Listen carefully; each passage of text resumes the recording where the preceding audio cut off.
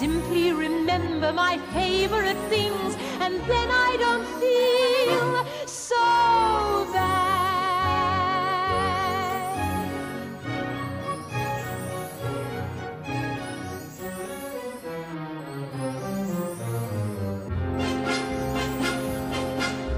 Raindrops on roses and whiskers on kittens, bright copper kettles and warm woolen mittens, brown paper packages tied up with strings.